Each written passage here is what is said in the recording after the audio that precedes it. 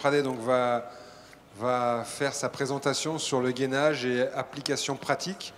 Et là, encore une fois, hein, vous avez quand même euh, un puits de science et de pratique et d'expérience, donc euh, n'hésitez pas à poser des questions par rapport à vos problématiques rencontrées. Ce sera un plaisir de, partager parce que s'il publie autant, c'est qu'il a envie d'enrichir euh, les connaissances de tous. Donc, Michel, tu as tes, voilà, as tes participants. Venez par ici. On se rapproche et on, te laisse maintenant. Bien, alors j'espère que l'intervention que je vais vous faire ne va pas être décevante dans la mesure où je ne vais pas vous euh, donner une suite d'exercices, etc. Mais je vais essayer d'insister sur, d'abord, de définir clairement ce qu'est ce point central de la performance sportive, à savoir le gainage. Parce que tout le monde parle du gainage, mais la plupart du temps, quand on dit gainage, eh ben, on dit on va faire des abdos. Euh, or, le gainage, c'est tellement plus que ça, et c'est vraiment un point central, parce que si, moi j'analyse la performance en termes le plus vulgaire, enfin pragmatique possible, qu'est-ce que c'est que réussir une performance? C'est produire des forces et les orienter pour réaliser la meilleure tâche possible, avec le plus d'efficacité.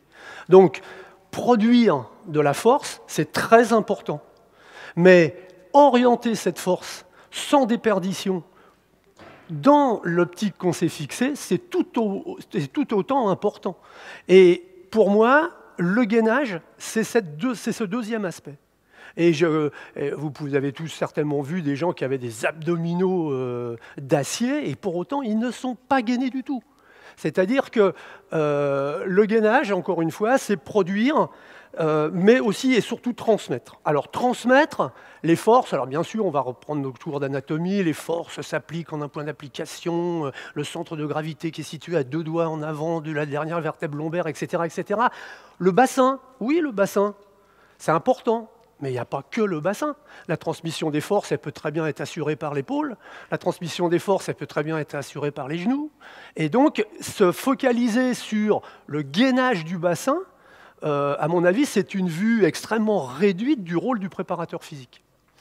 Et en plus, quand on traduit bassin, abdos, en réalité, les muscles les plus puissants de la stabilisation et de la transmission, c'est des petits muscles qu'on a ici, là, qui sont bien développés chez les sprinters, qui s'appellent les pelvitrocontériens. C'est des tout petits muscles euh, qui, servent à, maintenir le, justement, le gainage du bassin et, permettent justement la réduction des déséquilibres. Parce que pour moi, c'est ce que je vais essayer de vous démontrer, je ne renie pas du tout, euh, moi aussi je fais faire des abdos, je fais faire des dorsaux euh, à mes athlètes, etc. Mais je avec l'expérience, maintenant, je m'aperçois que l'efficacité que j'ai en coûte tant d'apprentissage effet euh, donné, il est relativement faible si je n'inclus pas la notion d'équilibre. C'est-à-dire que pour moi, il n'y a de bon travail de gainage que s'il est associé à du travail d'équilibre. Donc toutes les situations que je vais vous montrer et qu'on va faire évoluer en, niveau de difficulté avec euh, nos magnifiques cobayes qui maintenant sont réchauffés, donc je n'aurai pas besoin de repasser par, là, eh bien ça va être de créer des problèmes d'instabilité dans une logique de renforcement et de transmission des forces qui se traduira comment je peux vérifier si mes forces sont bien transmises si je maintiens mon équilibre. Alors ça nécessite une toute petite euh, euh, aparté, parce que qu'est-ce qu'on entend, par l'équilibre? Si c'est le physicien, va vous dire c'est la projection du centre de gravité dans le polygone de sustentation. Oui, mais quand vous prenez un virage, vous avez intérêt à ce que votre projection de centre de gravité ne soit pas euh, entre les deux pieds, hein, parce que sinon vous tombez, etc. Donc il faudra distinguer aussi entre équilibre statique, qui est un aspect mais assez peu fréquent dans le fond dans le monde du sport. C'est toujours un équilibre dynamique qui inclut la vitesse, et donc on va faire évoluer les situations par rapport à ça. Alors pourquoi j'insiste pas trop? Bien sûr, je vais vous montrer des exercices.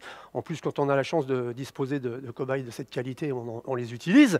Hein, mais euh, je vais vous montrer euh, plutôt les, principes qu'on va utiliser et comment ça se traduit en termes d'exercice. Vous avez du métier, je ne vais pas vous apprendre votre métier, mais peut-être que des fois, on a des routines et puis des séries d'exercices et puis qu'on a du mal à les faire évoluer parce qu'on manque simplement de euh, quelques items qui disent tiens, je pourrais euh, rendre plus difficile en faisant ça, je pourrais rendre plus difficile en faisant ça. Alors c'est un gros intérêt, c'est quand, on entraîne un groupe disparate, c'est qu'on peut partir sur le même exercice de base et ensuite faire évoluer en fonction de consignes qu'on va donner vers des, situations adaptées à chaque niveau. C'est-à-dire que ceux qui vont avoir du mal à établir leur équilibre, par exemple, je vais faire un premier test là d'équilibre. Vous allez vous mettre sur un pied, comme ça, simplement. Vous allez mettre les deux mains sur les épaules. Parfait. Fermez les yeux. D'accord? Bon, c'est juste pour vous montrer que en introduisant un élément, par exemple la suppression d'un repère visuel, eh bien, on oriente euh, l'équilibre sur d'autres secteurs, et je suis sûr que vous avez tous senti que ça se passait plus au niveau des chevilles et des, genoux. D'accord? Donc, euh, voilà, ça, c'est un, premier aspect. Alors, euh, donc l'équilibre, il est multidimensionnel. Il faut analyser l'activité que vous pratiquez pour laquelle vous travaillez en, termes d'équilibre. Est-ce qu'il a besoin d'un équilibre statique? Est-ce qu'il a besoin d'un équilibre dynamique? La plupart du temps, il y a un petit peu les deux, mais avec une forte priorité dans un, dans un sens ou dans l'autre. Donc si vous réglez le problème de l'équilibre dynamique euh, statique et puis que votre activité elle est farcie d'équilibre dynamique, vous ne faites pas beaucoup avancer les, choses. Alors, euh, comment est-ce qu'on peut travailler réellement le gainage? Ben, Essentiellement, pour moi, alors après, on va parler du nombre de répétitions, on va parler de... C'est mettre en situation de déstabilisation. Alors par exemple, comment on peut créer de la déstabilisation en jouant sur les surfaces. Tout à l'heure, j'ai entendu une question, est-ce que vous le faites pieds nus ou est-ce que vous le faites avec des chaussures? Alors je ne vais pas vous faire enlever vos chaussures, mais euh, il est clair que euh, le fait d'enlever ces chaussures, c'est un élément qui va augmenter les problèmes de stabilisation.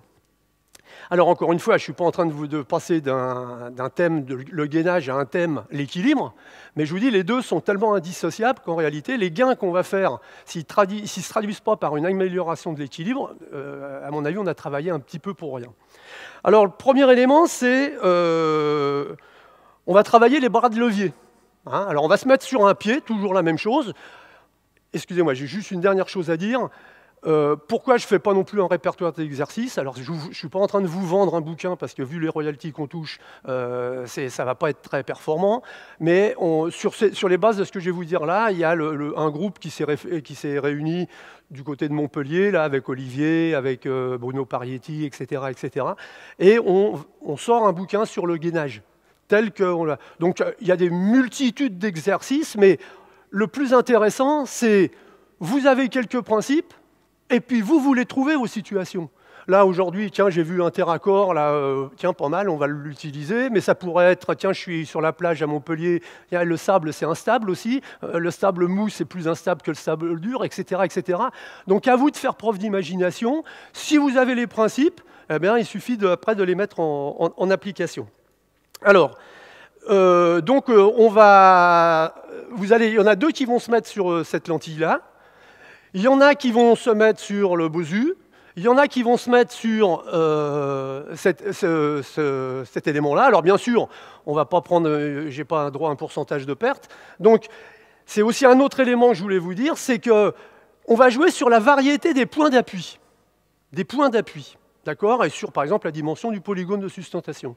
Mais les points d'appui, encore une fois, ils ne sont pas réservés aux pieds. Les points d'appui, ils peuvent être à tous les niveaux. Donc on va mettre des points d'appui différents. Franz, tu vas monter sur le, sur le Bosu. Toi, tu vas te mettre en équilibre fessier sur euh, cet élément-là. Mes deux miss, elles vont se mettre en position de Hayden, c'est-à-dire posture ici, avec tous les principes que vous avez vus tout à l'heure, c'est-à-dire on ne dépasse pas, et puis vous allez faire des flexions sur un pied, et on va voir comment on peut faire évoluer tous ces éléments-là. Vous, vous allez prendre un power bag, les deux costauds. Qui est-ce qui n'a pas sa... Qui est-ce qui n'a pas son élément? Eh ben, tu vas te mettre assis. Vous allez vous mettre assis en face à face. Assis, assis. D'accord? Vous allez vous mettre en position de crunch, tous les deux. À distance, euh, voilà. Et vous allez simplement, euh, crunch un petit peu levé, et vous allez essayer de vous repousser les pieds les uns les autres comme ça. D'accord? Vous ici, euh, appuyez sur un pied sur le terraccord, là, on cherche à tenir, et puis quand vous tenez trop bien, qu'est-ce qu'on va faire? On va jouer sur les bras de levier. On autorise ça ou on ne l'autorise pas. D'accord? Donc essayez de jouer. Toi, France, tu te mets sur un pied et tu de, de faire la circulation. D'accord? Flexion des Hayden ici, et les Hayden, main derrière le dos. Et au bout d'un moment, quand vous sentez que vous êtes vraiment bien sur les Hayden, vous fermez les yeux. Ici, sur un pied, et vous allez, avec le, le power, voilà, vous allez faire des inclinaisons comme ça. D'accord? Pour l'instant, on le laisse, ça sera pour tout à l'heure, ça. Allez, c'est parti. Voilà. Alors maintenant, on va jouer sur des paramètres. Très bien. Alors maintenant, vous arrêtez de vous coller les pieds tous les deux, continuez les autres. Et puis vous allez simplement essayer, vous allez enlever les mains du sol, donc on change le polygone de sustentation, et là vous allez essayer de vous déséquilibrer en vous poussant sur les pieds. C'est-à-dire que, voilà, tu essayes de le... Ça marche. Alors, là sur le dos c'est facile, ils y arrivent. Maintenant vous relevez, vous mettez en équipe fessier. D'accord? Et vous me faites la même chose. Et celui qui pose les mains, il a perdu. Ça marche, allez-y.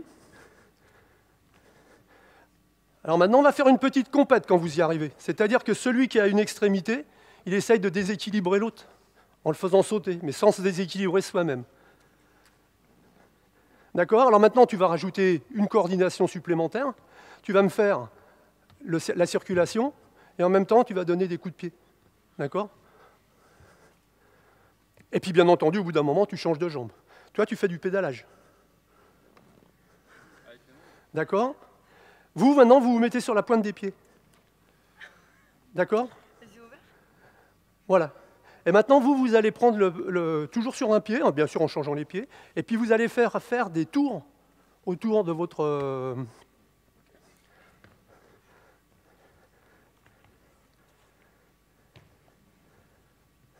allez,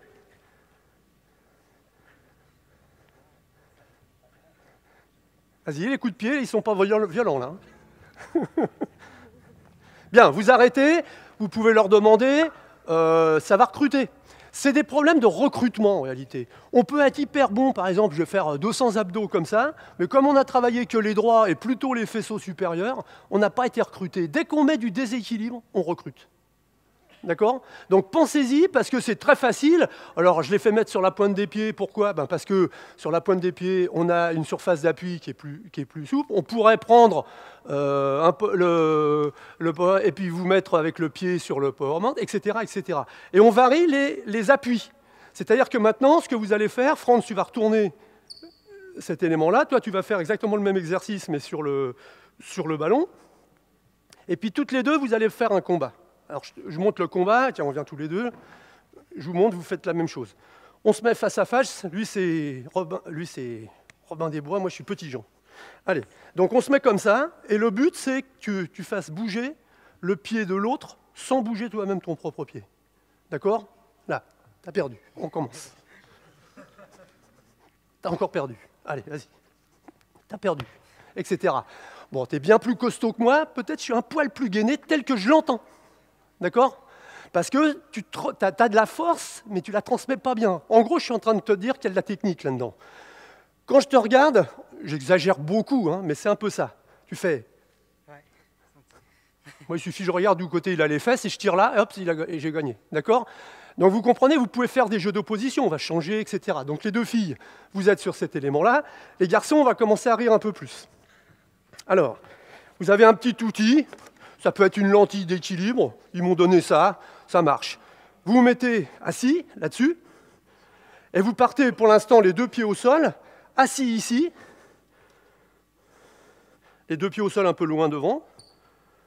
Voilà. Là, mets-toi bien en appui fessier. Maintenant, tu lèves un pied. Il est trop fort. Mais on y va quand même. Vas-y. Tu vas bien me maîtriser ça au bout d'un moment.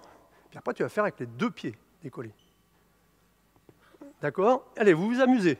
Toi, tu vas le faire en t'asseyant là-dessus pour l'instant, et puis après, vous allez changer. Alors, on pourrait mettre comme ça. Alors, toi, tu le retournes,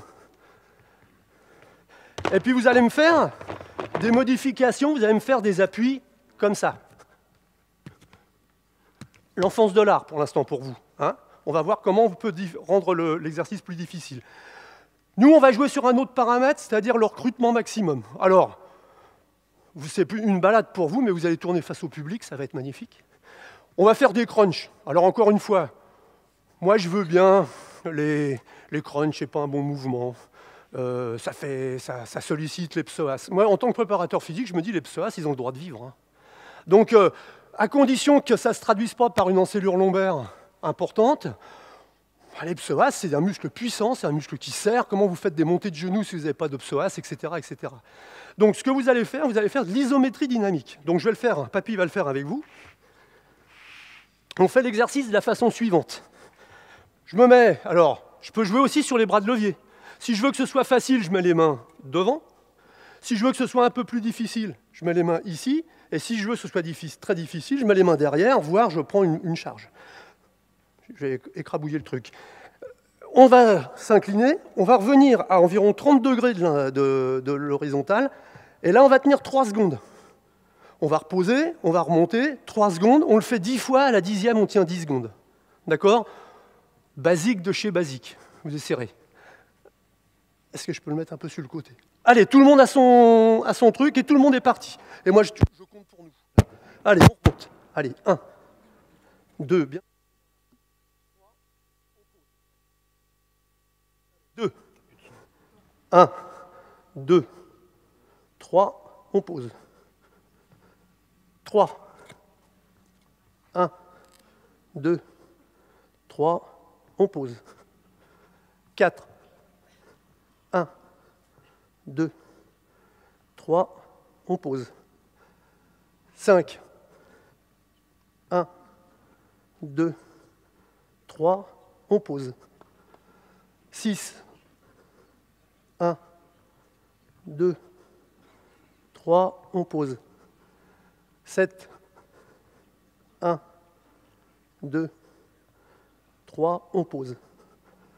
8, 1, 2, 3, on pose. 9, 1, 2, 3, on pose, et là on tient 10 secondes. Allez, c'est parti. 1, 2, 3, 4, 5, 6, 7, 8, 9, et 10. Ça recrute, d'accord? Ça marche. Donc après, on peut le faire 15 euh, fois, 3 secondes, 15 secondes, etc. etc. Vous avez senti que ça, au fur et à mesure, ça va de plus en plus profond. Hein? Bon, ça, c'est l'isométrie dynamique. C'est quelque chose qu'on pourra utiliser dans tous ces secteurs-là. Très bien pour les combattantes et les combattants. Bien sûr, il faudra changer de pied, changer de... Hein, etc. Alors après, on va faire des exercices encore plus basiques. On n'a pas de matériel. Qu'est-ce qu'on peut faire? Bah, on va jouer sur les réductions des, zones. Par exemple, quand on va faire des, exercices, on va se mettre en, posture, en posture de fente avant, comme ça, et puis on va faire des rotations, comme ça. D'accord? Alors au début, on va décaler un petit peu les deux, appuis, on va faire des rotations comme ça, puis après, on va mettre les deux appuis strictement sur une ligne. Hein Allez, en place. Tout le monde.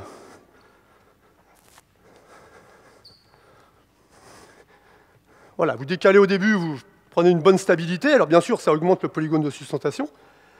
On fait des, voilà, et on fait des, rotations.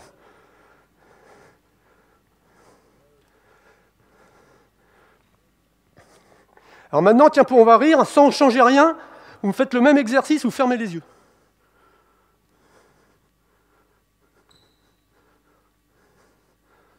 Là, c'est plus tellement débalancé, hein, par contre. Hein. Très bien. Allez, top, vous changez de jambe, on va faire le même exercice, puis après on met les deux appuis sur la même ligne. Donc 5 répétitions sans fermer les yeux, 5 répétitions en fermant les yeux.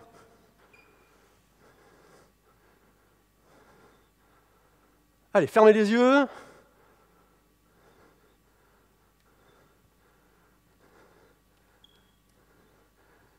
Super, ils sont trop forts.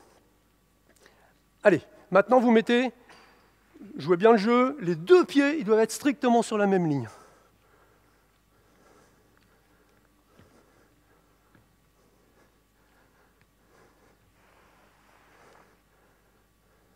On tourne les épaules aussi. C'est pas, voilà, on doit tourner les épaules. Donc vous voyez, il y a différents niveaux de gainage, il y a différents niveaux, et maintenant, en fermant les yeux.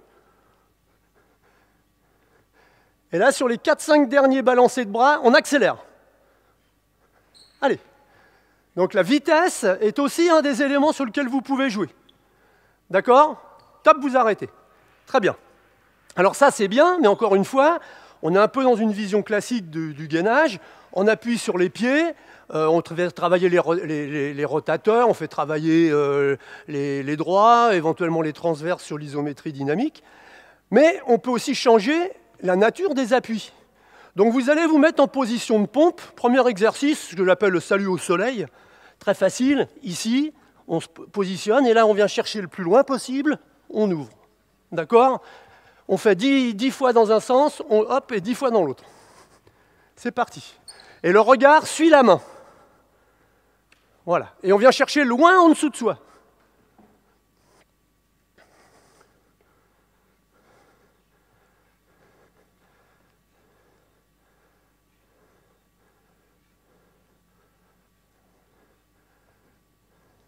Bien, vous changez de main.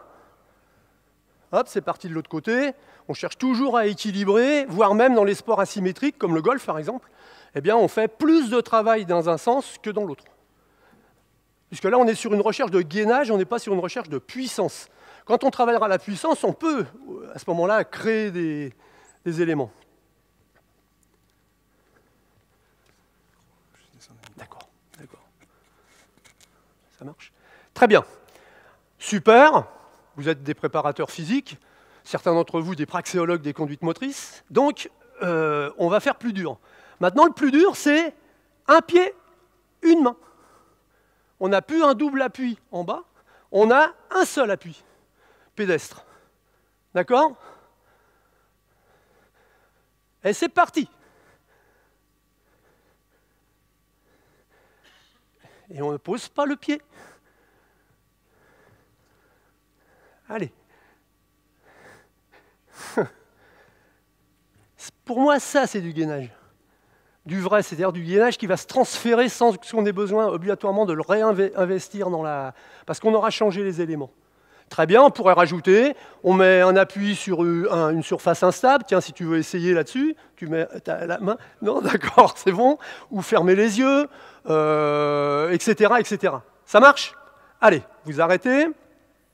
Donc, ça fait partie de l'ensemble. Alors, je vous fais un petit inventaire. Donc, euh, on peut, euh, crée des situations de déstabilisation dans lesquelles on va travailler bah, toutes les chaînes croisées. Mais j'aime bien ce terme de chaîne.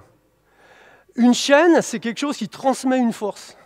Mais vous avez une chaîne qui a les, anneaux du, Queen Mary en carbure de tungstène, euh, gros comme ça. S'il y en a un qui casse, et que vous rafistolez avec du, fil de fer, à chaque fois que vous retirerez, ça cassera toujours. Une chaîne, elle a la force de son maillon le plus faible. Donc à vous de déterminer dans les différents exercices qui concernent le gainage euh, du bassin, le gainage au niveau des genoux, le gainage au niveau des chevilles. Et c'est assez simple, par exemple, avec le. On peut mettre, par exemple, on peut demander au. Tu veux essayer? Tu te mets sur les tibias, sur le, sur le ballon suisse, là. Voilà. Et là, tu tiens ton équilibre. Très bien. Facile. Alors, tu essayes maintenant de faire des pieds roulés, sans mettre le pied derrière, on t'a vu. D'accord Voilà. Puis maintenant, tu fais des rotations avec le haut du corps.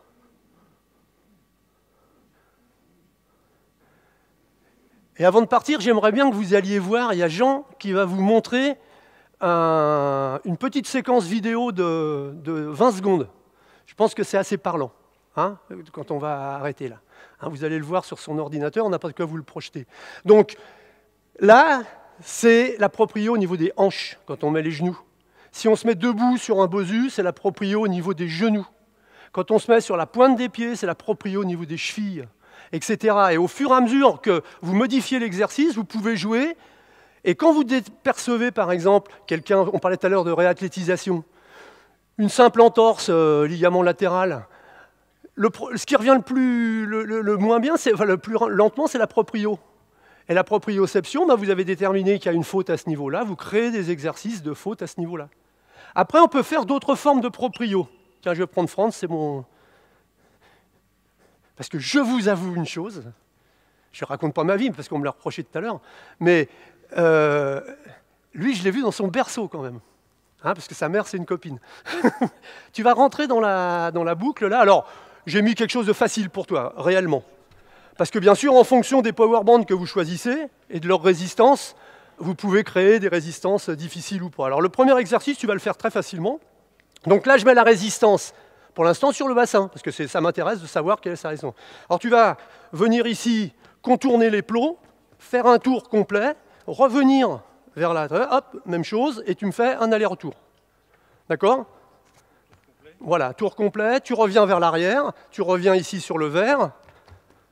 Là, tu viens chercher celui-là, et tu viens chercher celui-là. Très bien. Donc là, je le travaille dans ce sens-là. Maintenant, je vais te travailler, tu vas mettre le latéralement. Et tu vas me le faire en pas chassé. Et je vais reculer un peu les plots. Parce que tu es trop fort. Allez, c'est parti. Un tour complet. Un tour complet, tu m'as pas fait un tour là.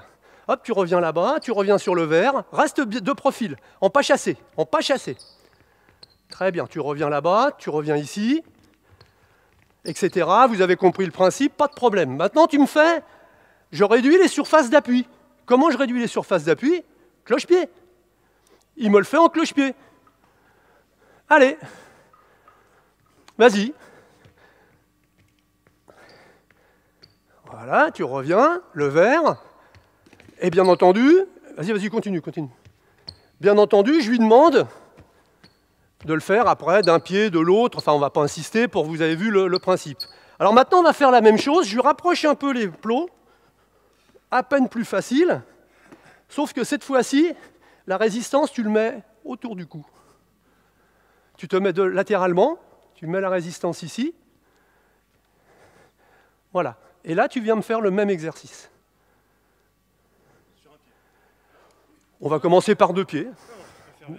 Hein, on va commencer par deux pieds. Vas-y. Vous voyez que ça change tout et surtout ça change le point de résistance. Très bien. Parfait. Donc là, je peux te faire faire la même... Euh, super. Et puis, je pourrais lui demander de faire la même chose en engageant, par exemple, la résistance autour d'un genou.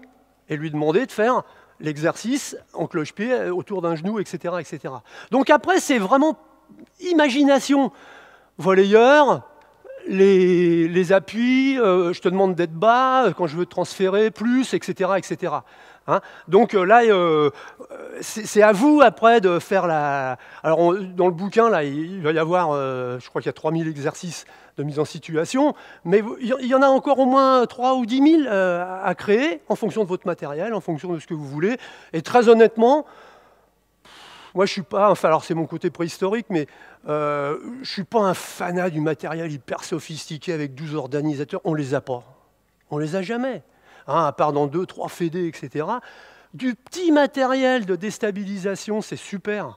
Hein, monter sur la pointe des pieds, tenir qu'on équilibre sur euh, la pointe des pieds, le faire pieds nus, euh, se faire passer une balle, jongler en mettant de l'adresse, enfin, etc.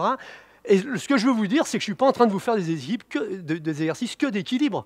Si on fait une séance complète, et qu'on fait ça, je peux vous dire que le lendemain, vous avez des courbatures. Et vous avez des courbatures pourquoi? Parce que vous sollicitez des fibres musculaires que, vous ne sollicitez jamais.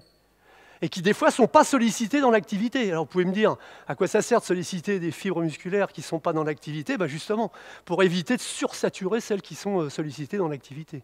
Et donc, blessures. Donc on retrouve des problèmes de réathlétisation. Alors, donc euh, multiplication des zones d'appui, réduction ou augmentation des zones d'appui, isométrie dynamique, variation des bras de levier, par exemple, les deux là, vous allez me faire un exercice où tu vas lever, alors bon c'est des 15 kilos, c'est peut-être un peu rude, mais tu vas lever le truc, alors comme ça, pas de problème, comme ça, un peu plus, mais tu vas, non, tu vas lui donner les deux, après tu le feras. Et toi tu vas faire comme ça, et comme ça. D'accord? Et sur un pied, bien sûr. Voilà, le premier, il est long de ton corps, et le deuxième, il est latéral. Et tu les fais en même temps. Ouais, c'est un, peu, un tout petit peu lourd. Bon. Très bien. Vas-y, tiens l'équilibre. Et même chose, je veux en rajouter une couche, il est trop fort, les yeux fermés, vas-y. Non, là, tu fais deux fois comme ça. Allez, en même temps. ouais, bien sûr, c'est un peu lourd. Donc, euh, vous voyez le principe, c'est ça qui compte. Tiens, tu vas essayer. Hein tu m'as l'air d'être un altéro, donc... Euh, allez, vas-y. Ici, voilà, sur un pied, un bras qui tire et un bras qui lève latéralement. Et on essaye qu'il n'y ait pas de déplacement. Allez, tu recommences. Voilà. Très bien. Vous voyez, ça crée des problèmes de déstabilisation, des problèmes de gainage. Allez, une troisième et dernière pour le fun. Et bien sûr, après, on changerait. Alors bon, là, j'avoue, je, je, vous envoie un peu au casse-pipe parce que 15 kilos, c'est beaucoup. Hein. Mais avec des, zones un petit peu plus... Euh, alors, euh, donc il y a l'isométrie dynamique, un temps où on bloque le mouvement, alors d'ailleurs on peut le bloquer à des, angulations différentes, et un, temps où on fait du vite. Et ça, ça recrute de plus en plus fort, parce que le système nerveux, il s'organise pour justement aller rechercher les fibres musculaires qui n'ont pas été saturées par euh, par l'isométrie. D'accord? Donc après le, gainage à tous les niveaux corporels, on l'a vu, soit au bassin, soit au genou, soit ici, soit avec un bras, soit avec un bras, si par exemple j'ai besoin d'avoir une grande solidité, je prends un lanceur de javelot ou un volleyeur, ici, eh bien, je vais prendre l'élastique, alors bien sûr plus, plus, euh, moins, moins, difficile. Ici, je vais faire les mêmes exercices. Et je vais le mettre dans les situations, et petit à petit, je peux me rapprocher de l'activité cible. Encore une fois, c'est votre imagination et surtout la logique de ce que vous mettez en place qui compte. Euh, donc, alors maintenant, euh, je pense qu'on va, on va aussi un petit peu leur permettre de souffler.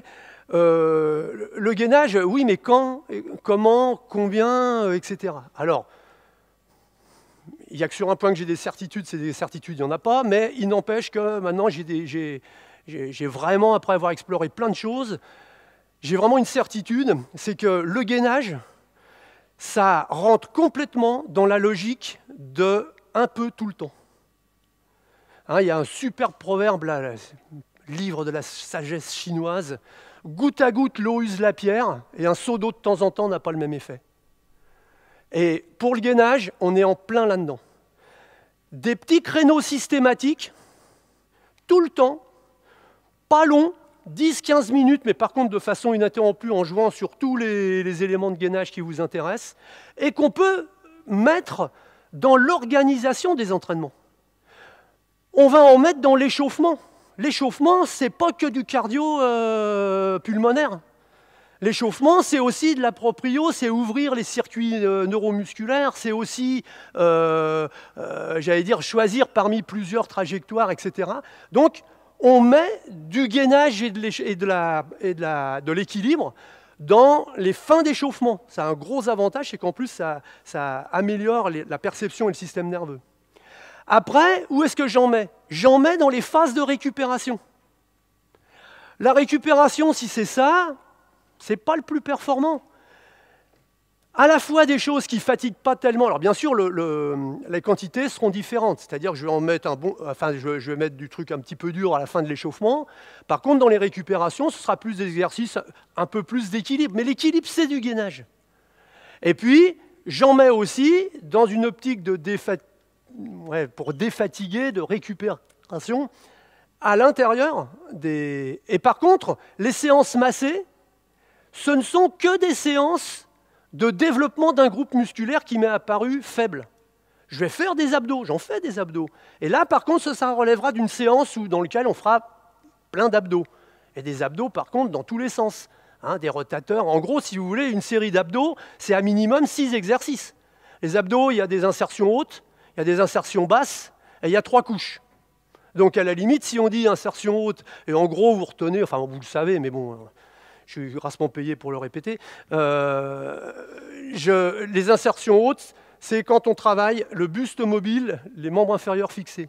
Les insertions basses, c'est l'inverse. Buste fixé, euh, jambes. Et ensuite, dans tous les sens, donc euh, si je fais des crunchs, des pédalages, des essuie-glaces, des rotations, et puis après je fais du travail de transfert en isométrie dynamique, j'ai fait une vraie séance d'abdos. Mais si j'ai pas fait ça, j'ai créé un point faible, si je fais toujours la même chose. Alors j'allais dire, pour, euh, pour se sentir beau, ça peut être intéressant. Pour être efficace, ça ne l'est pas obligatoirement. Hein, les, abdos Cronenbourg, là. Ah non, pas Cronenbourg, c'est justement ceux qui ne se sont pas. J'aurais, je pense que si, on va peut-être, si vous avez des questions, donc je les inclus dans le corps des, des séances pendant les récup, et je fais des séances de développement musculaire externes aux séances uniquement sur quand j'ai détecté des zones faibles musculairement. C'est-à-dire qu'après, on peut avoir une très très bonne proprioception, bien utiliser ce qu'on a, mais comme dit l'autre, euh, euh, apprendre à gérer ses ressources, quand on n'a pas de ressources, ça va vite. Hein. Donc euh, il faut aussi le développer. Hein. Bon, voilà. Voilà, c'est ce que je voulais vous présenter sans tomber dans le. Et puis je remercie les participants. Il n'y a plus qu'à vous exercer maintenant. J'ai déterminé certains qui avaient besoin de faire du gainage. Bien, je vous remercie. Si vous avez des questions.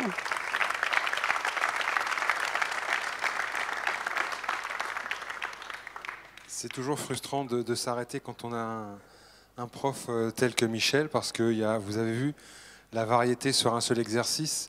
Ça, c'est de votre ressort. Hein. Il a dit il y a 3000 exercices. La chance, c'est qu'il y a un livre à venir, donc vous pourrez l'acheter et vous nourrir et enrichir votre expertise et votre expérience. Mais on voit bien que euh, la plupart des sports se font en mouvement et que faire effectivement du gainage sur de l'isométrique pure, euh, des fois, c'est un non-sens, mais euh, c'est aussi un complément. Donc il faut savoir, encore une fois, définir les besoins de votre spécialité, de, la spécialité que vous entraînez, et après adapter en permanence, varier, parce qu'on l'a vu avec ça, ça, tout à l'heure, hein, la variété pour lutter contre la monotonie, c'est quand même quelque chose de nourrissant aussi pour, pour vos athlètes.